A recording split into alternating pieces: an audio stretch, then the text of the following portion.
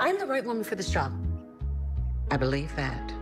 And that is why you are officially my counsel. Yes. Alongside co counsel, of course. Co counsel.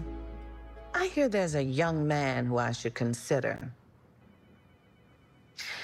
Miss Marie, I assure you, I am the best this firm has to offer. We'll see about that. Okay, so it's kind of a running gag in certain Tyler Perry shows where, let's say, a character has a defined uh, title. This is a nurse. This is a police officer. This is a firefighter. This is a judge. This is a divorce lawyer. This is a tax attorney, and so on and so forth. But as time goes on within a show, we typically see a character in one specific role handed situations to work on that a person of their field shouldn't work on because that's not their expertise.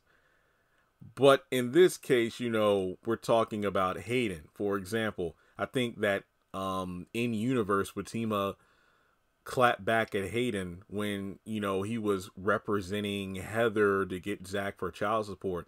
You're a tax attorney, Hayden. Hey, I'll be whatever I need to be in order to get back at that bastard boyfriend of yours. So um, I feel like, you know, in the case of Hayden working with uh, Marie for her divorce, it actually makes sense because I did a little research uh, during the live last night. Some people even pointed this out. Um, and then I looked it up. This is coming from the law office of David A. King because I just typed into Google, do tax attorneys work on divorce cases? Once a divorce is finalized, it can be pretty difficult, if not impossible, to make changes to certain settlements in regards to your taxes. Early timing is critical to ensure that you and your tax attorney have reviewed every marital asset individually to avoid unwanted outcomes and costs. Now, Marie told Andy that, look, you know what? I want you on my case, but also I want a co-counsel by an upstanding young man in this office who I've gotten, you know, recommend, you know, I got recommendations for Hayden, Hayden Moss, aka tax attorney. So yeah, it makes sense why you have Andy working on the case for the divorce because Marie said, I want it all. I want to make sure this husband, this deadbeat, gets none of my money.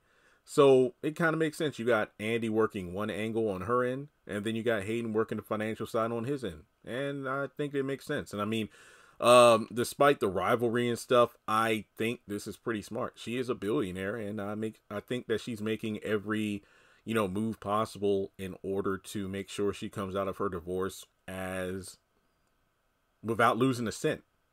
Now, why in the world is Hayden on the case now? Well, keep in mind that Gary spent time downplaying Andy's skills because of her reputation around the office. Which Marie, she did say, Hey, I'm not going to judge you. I had my fun back in the day, but you don't shit where you eat. Basically, like, you know, you're working here, don't get involved with inner office politics, aka screwing everything that moves, especially the higher ups. So basically, you got Gary who was helping Hayden, you know, by helping him get a big fish on his line. So someone of Miss Marie or excuse me, Marie's caliber would be essential to helping him secure the position of partner at the law firm. Now the question is, will these two butt heads or what's going to happen? Because in the uh mid-season finale synopsis it states that Andy is forced to work with her worst nightmare. So it seems that these two are probably going to try to one up each other, but and I'm not saying they need to be friends. I'm not saying that, but I feel like and look, people and I'm not vouching for Hayden, but at the same time I will say that put aside how you feel about Hayden as a character, this man is good at his job. He's one of the best. I mean, he even, you know, boasted to uh, Robin that, you know, look, if you check the uh, books, I'm the attorney that brought in the most revenue into the law firm. And then Robin's like, yeah, in the last quarter. but still, I was the top dog. So he knows what he's doing. It's just like when uh he confronted Tamara at the end of season six about who she really is. And she's like, well, I'm going to take it all. I'm going to get my lawyers. And I, and I know some lawyers I've screwed around with. And I'm thinking to myself, Tamara, you might underestimate this dude, but Hayden knows what he's doing when it comes to law. So I think that if Andy and Hayden work together, they could make one hell of a team. But obviously, that's not going to happen. My thing is, they better do the best job possible because I think that if they end up blowing it by trying to outdo each other as opposed to working together, they could lose Marie as a client and then neither one of them will make partner. That's what I'm thinking. This is that this is giving me Goku and Vegeta vibes where Goku's like, Vegeta, we have to work together. No! And then they both get their asses kicked unless they fuse or something. I think that if Andy and Hayden work together, they could be a hell of a team. I'm just throwing that out there.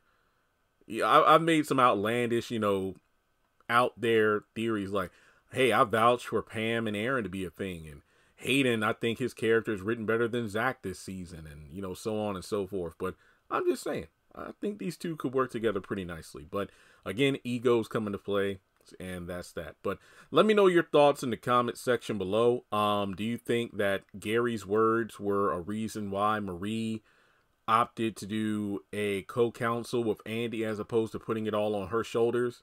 Or do you think that maybe she did her own research and found out that, you know, this dude giving a sales pitch is actually one of the best there is? So what do you think? And do you think they can succeed with getting Miss Marie, or excuse me, Marie, drop the miss, Marie's uh, money in the settlement or not. So like and subscribe, and I'll catch you in the next video.